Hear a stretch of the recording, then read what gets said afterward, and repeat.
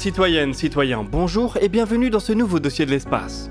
Voilà un peu plus d'un an que les États-Unis ont retrouvé une capacité de vol spatial habité grâce au vaisseau Crew Dragon, qui a été développé par SpaceX.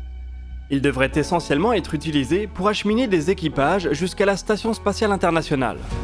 La NASA a déjà commandé 6 vols qui permettront de desservir l'ISS jusqu'en 2023. Le Crew Dragon reste cependant un vaisseau opéré par une entreprise privée qui peut donc être commercialisé auprès d'autres acteurs que l'Agence spatiale américaine. Les entreprises Axiom et Space Adventures ont par exemple déjà réservé quelques vols qui auront lieu dans les prochains mois.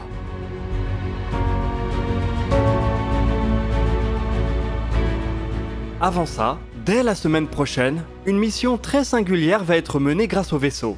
Elle se nomme Inspiration 4 et aura la particularité de voler sans qu'aucun membre d'équipage ne soit un astronaute professionnel.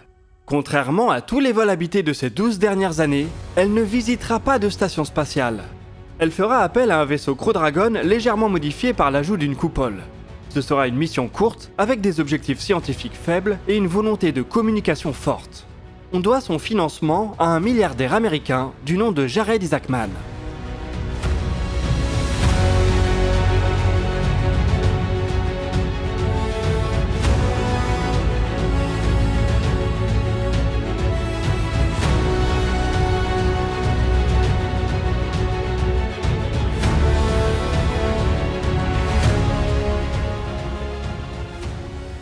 En 2021, les mots milliardaire et vol spatial se sont fréquemment retrouvés côte à côte dans les titres d'actualité.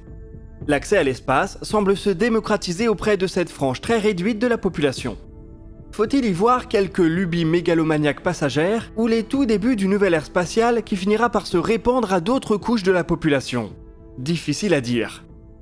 Le vol spatial reste extrêmement cher, et il est aujourd'hui impensable d'espérer aller en orbite sans dépenser au moins quelques dizaines de millions.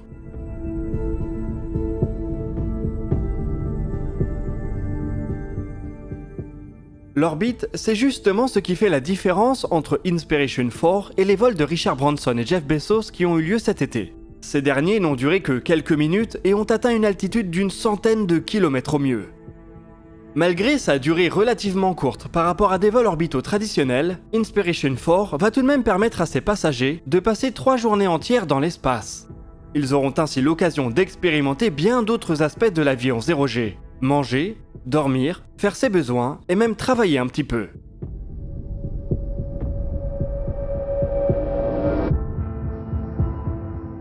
La mission va par ailleurs les emmener sur une orbite avec une apogée relativement haute. Leur capsule s'élèvera jusqu'à 590 km d'altitude. C'est 170 km de plus que l'orbite moyenne de la Station spatiale internationale. Voilà qui devrait leur offrir une vue à couper le souffle. Cette vue va être en plus décuplée par l'ajout d'une coupole à leur vaisseau Crew Dragon. Ce dernier est bâti autour de la capsule dénommée Résilience. C'est elle qui avait mené la mission Crew One à destination de l'ISS entre novembre 2020 et mai 2021.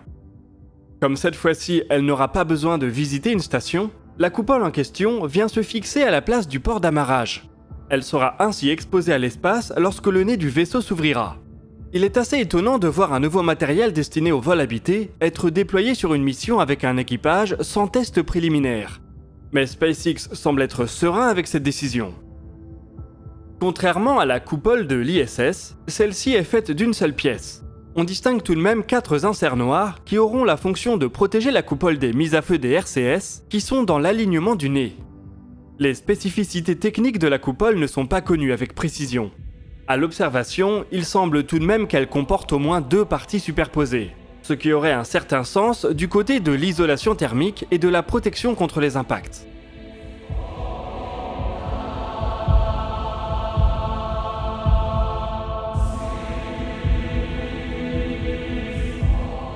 Une fois la mission terminée, il sera possible pour SpaceX de remplacer à nouveau la coupole par un port d'amarrage. L'entreprise pourrait aussi décider de conserver celle-ci et de dédier résilience aux vols touristiques si les commandes sont assez nombreuses. Le lancement du vaisseau se fera bien évidemment grâce à une Falcon 9 qui exploitera le booster B-1062. Ce dernier a déjà mené deux missions mais n'a jamais participé à un vol habité. Le décollage se fera depuis le pad 39A du centre spatial Kennedy, celui-là même qui a vu décoller les missions Apollo et la navette spatiale. Une petite touche d'histoire que les touristes sauront apprécier.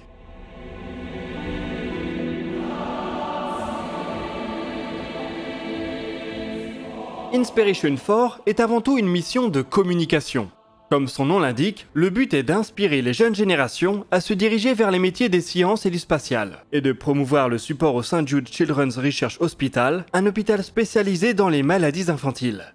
Pour que le montant récolté dépasse ce qui a été dépensé pour la mission, il va falloir que l'impact médiatique soit fort. Une des idées que Jared Isaacman semble vouloir promouvoir est justement que l'aventure et l'espace peuvent devenir accessibles à tous. C'est pourquoi il ne part pas seul, mais accompagné de trois autres personnes qui ont été sélectionnées au travers de différents processus.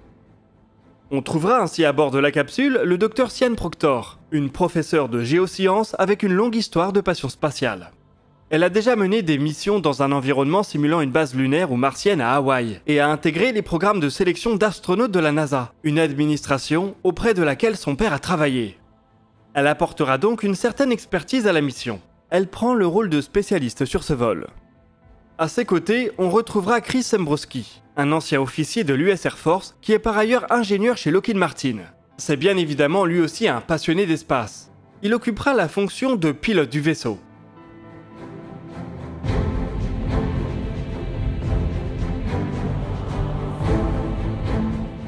La troisième passagère est probablement celle qui symbolise le plus la mission, Hailey Arsenault est une ancienne patiente du St. Jude Children's Research Hospital qui a survécu à un cancer contracté à un jeune âge. Elle travaille maintenant pour l'institution qui lui a sauvé la vie. C'est elle qui occupera la fonction de médecin de bord. Symboliquement, elle représente un pas en avant pour l'accessibilité à l'espace. En plus d'être une ancienne malade du cancer, ce sera aussi la plus jeune américaine de l'histoire et la première personne portant une prothèse à aller en orbite.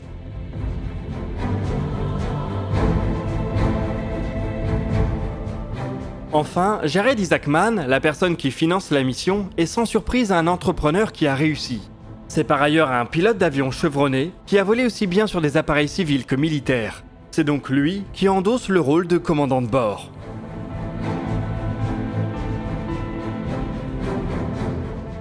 Bien qu'aucun d'entre eux ne soit issu d'une agence spatiale, ils ne partent bien évidemment pas les mains dans les poches. Voilà à peu près 6 mois qu'ils sont à l'entraînement ils ont eu l'occasion de réaliser des vols en 0G, des sessions en centrifugeuse, des séances de simulateurs dans les locaux de SpaceX et un peu de team building en allant escalader une montagne. Ils arrivent en Floride aujourd'hui pour les préparatifs finaux de leur vol. Ils se sont aussi entraînés à réaliser certaines manipulations. Au cours des trois journées qu'ils vont passer dans l'espace, ils vont devoir réaliser un certain nombre d'expériences. Jared Isaacman tient en effet à embarquer dans le vaisseau autant de charges véritablement utiles que possible, avec un accent voulu sur ce qui pourrait servir à l'enseignement scientifique.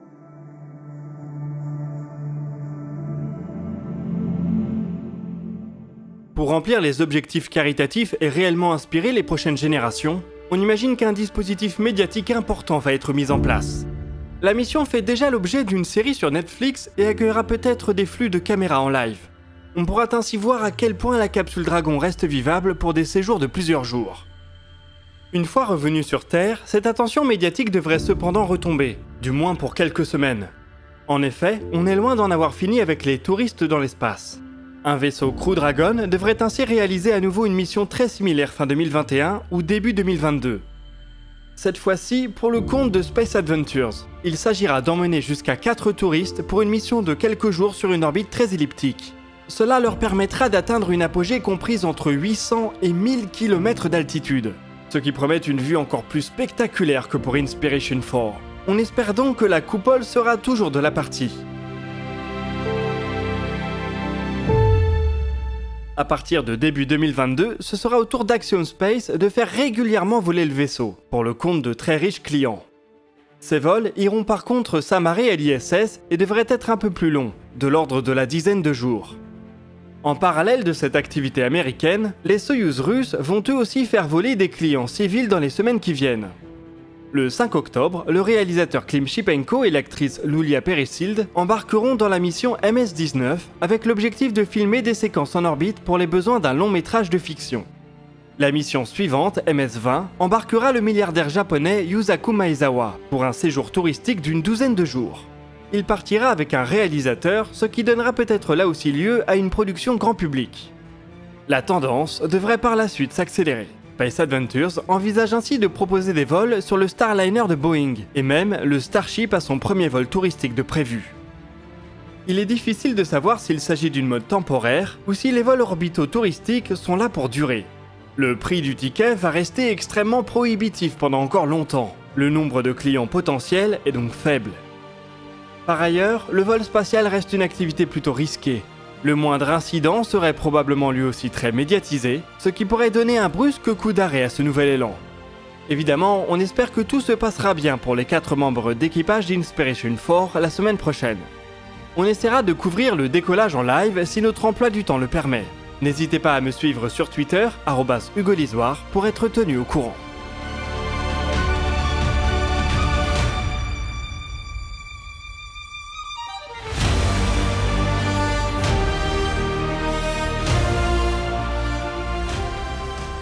Nous voici en tout cas arrivés au bout de cette vidéo. Je vous invite à partager vos remarques et questions dans les commentaires. Nous répondrons à certaines d'entre elles dans la vidéo qui sortira dimanche à 18h. Vous pouvez consulter la description pour retrouver des liens vers nos sources, nos réseaux sociaux et nos podcasts. Nous, on se donne rendez-vous dans 3 jours pour l'espace commentaire, et d'ici là, citoyennes, citoyens, portez-vous bien.